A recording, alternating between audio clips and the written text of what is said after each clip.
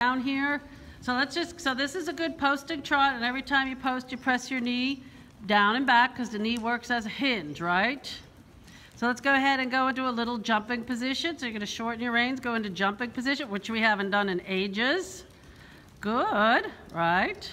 And ideally, we want our horse to be able to stay on the bit, whether you're in jumping position or posting.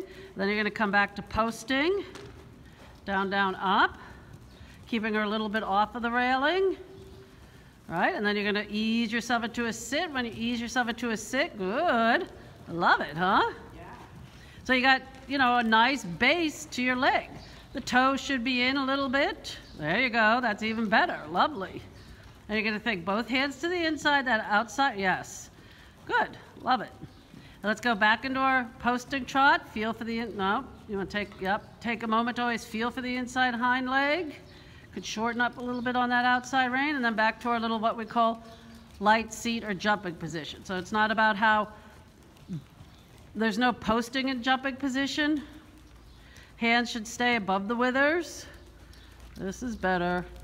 Good. And then back to your posting trot. So it's not about how high you go in the saddle, okay? It's about closing the angles of your hip, your knee, and your ankle using your leg as a shock absorber. Ab absorber. Good.